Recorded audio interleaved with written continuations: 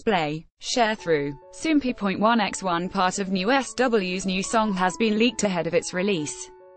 See also, social media hacking becomes bigger problem as more celebrities suffer The June 21 episode of KBS2's Good Morning featured the story of a 13-year-old yo-yo genius, and NU'EST W's upcoming title track, Deja Vu, played in the background for 28 seconds. Soompi. Display, News. English .300x250, BTF Soompi. Mobile. English .300x250, ATF Following the incident, many people reported the issue as the program played the song even before its release. In response, a source from KBS commented, We have become aware of NU'EST W's new song, Deja Vu, being leaked.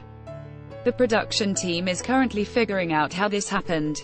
NU'EST W's new album, Who, You, including Deja Vu, is set to be released on June 25 at 6 p.m. KST. Source 1.